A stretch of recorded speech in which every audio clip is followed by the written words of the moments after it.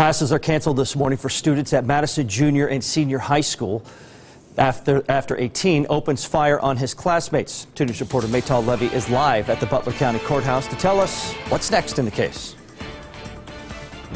James Austin Hancock could be here in court in Butler County as early as this morning. The 14-year-old is facing attempted murder, felonious assault, inducing panic, and making terroristic threats. The 14-year-old is accused of shooting two students and grazing two others during lunchtime at the school. The students range from 14 to 15 years old. All suffered non-life-threatening injuries.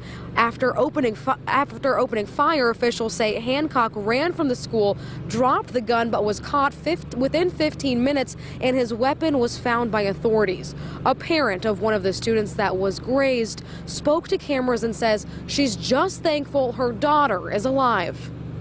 God definitely had his angels protecting her today. He was definitely around her and he was definitely making sure that she wasn't injured, you know, too severely. Even the other two other children, the three other children that were hurt.